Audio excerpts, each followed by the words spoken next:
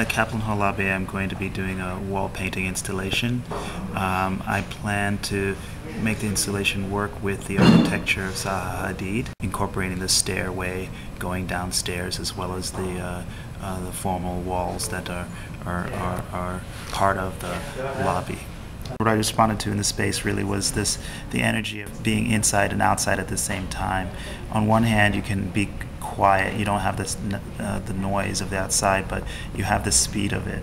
You have the life of it. You have people walking uh, to work or to the store, wherever, coming from this place going to that place. You have the cars moving back and forth, uh, going going wherever they're going. You have people even sitting but it's it's it's all about the life and the speed of the life of people outside, as well as the the life of the architecture itself and how that uh, incorporates the outside and the inside and bringing the two together.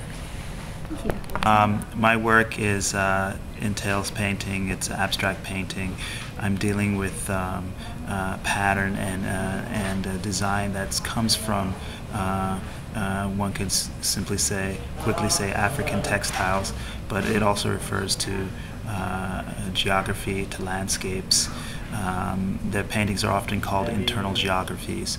I like that um, uh, uh, naming of them because, in a sense, certain sense, they're my internalization of Africa mm -hmm. and of this uh, landscape uh, space that I was born in but haven't lived in, in in a large part of my life.